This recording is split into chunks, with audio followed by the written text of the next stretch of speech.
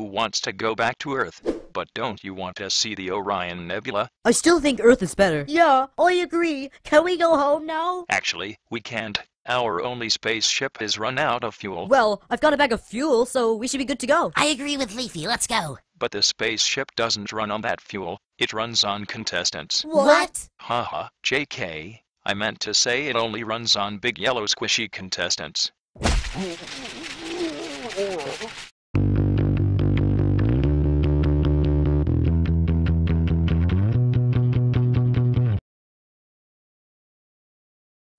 Wow, Fiery, it's such a relief that we're returning to Earth. Yeah. Hey guys, we'll be landing soon.